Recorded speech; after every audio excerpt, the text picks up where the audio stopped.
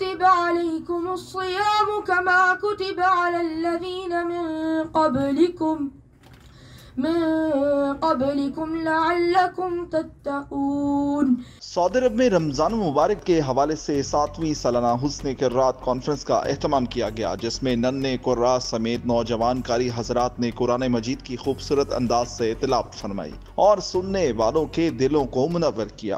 إن الله لا يحب من كان خوانا أثيما. سعودی دارالحکومت ریاض میں جمعیت اہل حدیث کی جانب سے منعقدہ سالانہ حسن کے رات کانفرنس میں اسلامی نظریاتی کونسل پاکستان کے ممبر عبد الغفور راشد مہمان خصوصی تھے، جبکہ مکتبہ دارالاسلام کے ڈائریکٹر مولانا عبد المالک مجاہد نے صدارت کی۔ اس موقع پر جہاں ننے کم عمر قرآ حضرات نے اپنی خوبصورت انداز میں کلام اللہ کی تلاوت فرمائی، وہیں نوجوان کاری حضرات نے بھی قرآن پاک کی تلاوت کر کے سننے والوں والوں کے دلوں کو منور کیا ایاما معدودات فمن كان منكم مريضا أو على سفر حسن کے رات کانفرنس کے موقع پر مقررین کا کہنا تھا کہ قرآن پاک کی تعلیمات ہمارے لیے مشل راہ ہیں اور ان پر عمل کر کے جہاں ہم اپنی دنیاوی زندگی کو بہتر بنا سکتے ہیں، وہیں آخرت میں بھی اللہ کی خوشنودی حاصل ہوگی اور رمضان المبارک نزول قرآن کا مہینہ ہے۔ اس ماہ روزوں کے ساتھ ساتھ قرآن پاک کی تلاوت کو بھی یقینی بنانے کی ضرورت ہے اور قرآن سے تعلق بنا کر متقی اور پرہیزگاری اختیار کی جا سکتی ہے۔ آخر میں حسن کے رات کانفرنس میں شریک قرآ حضرات کی حوصلہ حوصلہ افزائی کے لیے اعزازی شیلڈز اور سرٹیفکیٹ بھی تقسیم کیے گئے۔ کانفرنس سے پروفیسر ڈاکٹر محمد اویس، عمر فاروق اور حافظ عمران سمیت دیگر نے بھی اظہار خیال کیا۔ يستخفون من الناس ولا يستخفون من الله وهو معهم۔